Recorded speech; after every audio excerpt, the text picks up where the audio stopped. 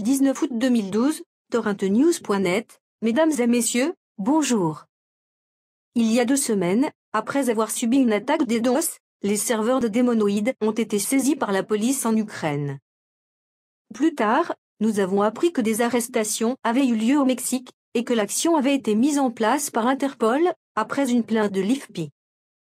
Alors que de nombreux utilisateurs espéraient tout de même un retour, il est apparu la semaine dernière que les trois noms de domaine principaux de Démonoïdes ont été mis en vente sur ces dos. Il s'agit de démonoïde.me, démonoïde.com et démonoïde.ph. Mais cela n'a pas duré longtemps. Tous ceux qui souhaitent acheter le nom démonoïde.ph ou démonoïde.com arrivent sur le message suivant. En raison de possibles problèmes juridiques, CEDO n'est pas en mesure de proposer ses services pour ce nom de domaine. S'il vous plaît, choisissez un autre domaine. Fait intéressant, le nom de domaine en .me, qui est pourtant le nom de domaine principal depuis plus d'un an, est toujours disponible sur CEDO.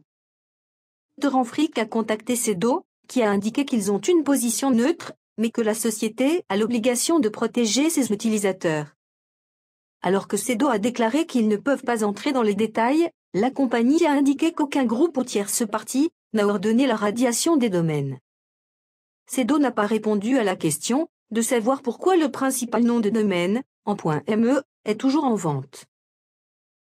Réalisé sur la traduction d'un article torafrique.com, cet article et cette vidéo sont sous licence Creative Commons. APP et même. Piraté. Partagé. Et modifié sans modération.